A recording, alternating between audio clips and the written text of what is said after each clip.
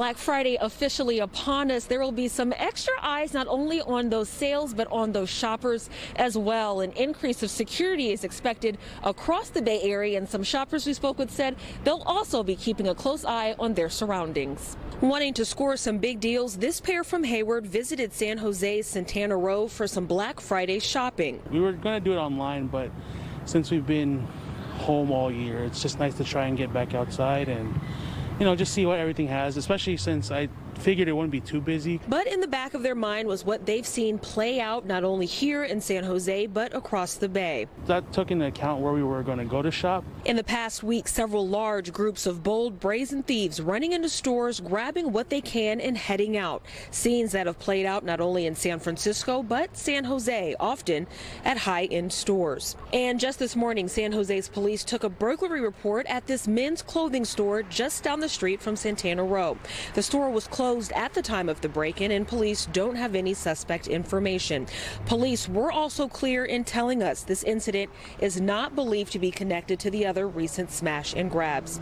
But this holiday season, in light of the recent rash of crime, local law enforcement and city leaders say they're reacting. San Jose Mayor Sam Liccardo says he wants to install more license plate trackers to help locate the vehicles used as getaway cars. And local municipalities say they've upped their presence as a way to keep both shoppers and retailers safe. And some shoppers say they've taken notice. I've seen a combination of everything. I've seen some people with some vests on, you, you know, they clearly stand out. And, you know, I think it's a mix of both. But many don't plan to slow their shopping anytime soon. We're here.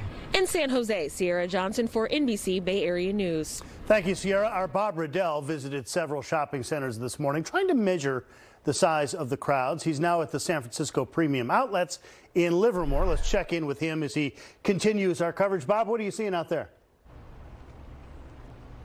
Well, I can tell you the San Francisco Premium Outlets behind me here in Livermore definitely crowded. This is the traffic getting into the mall. To me, it feels like a normal Black Friday here uh, in terms of number of shoppers. Uh, like a lot of retailers, the outlets did not open yesterday on Thanksgiving, and they didn't stay open all night as they've done in years past. Instead, they opened at 6 o'clock this morning. As I mentioned, getting here is a challenge. Um, I was just down the street on 580. I almost didn't make it to my live shot. Uh, you can see the line of traffic to get into the mall backed up on 580 here in Livermore. And by the way, that'd be my fault since I should have known better. Uh, and once you're inside the mall, there are a lot of people. Some stores with long lines outside, people waiting to get in. We've seen this in years past. Uh, this is a video my daughter shot of the line into the Nike store. She was here early this morning. She waited for quite some time before finally giving up and leaving uh, said, in her words, nothing was worth that kind of wait. And it appears she was not alone. Did you get in? No way. How long was the wait? Probably four or five hours. No way. It's long. The line goes like almost halfway to outlets. Hats and sweaters. Yeah? How much you spent? A hundred. How much you saved? A hundred. No, more than like at least 300. Really? Yeah. Okay, so it was worth it. Yeah. Okay, Maybe how not- long do you have to wait? Like 20 minutes. Do you have a budget in mind of how much you're willing to spend today?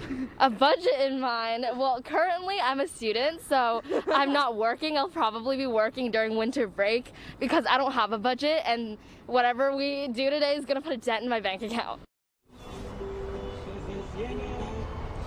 We met her outside the Stoneridge Mall, uh, and this is video. You're looking at the mall there in Pleasanton from around 7 this morning. It's about an hour after it opened for Black Friday. And what we saw, plenty of parking, no rush of shoppers at that hour. Compare to that to the Livermore outlets behind me. It's a night and day. I don't I haven't been to the mall though, the Stoneridge Mall though, since this morning, so maybe that's changed. Anyways, Alliance Research expects shoppers to pay on average between five and 17 percent more this holiday shopping season for things like toys, clothes, appliances, and TVs, especially TVs. Uh, you can blame that on the labor shortage and the backup in the supply chain. And anecdotally, I've been coming to the Livermore outlets. I hear every Black Friday, namely to buy dress shirts. And this is the first year, Scott, where I've seen the dress shirts I normally buy cost more than they have in years past, even though they were on sale. And it wasn't worth it, so I left empty handed. Well, you've Scott? invented a new a new index, the Redell Dress Shirt Index. Bob Redell, thank you, reporting from Livermore. Meantime, the reward.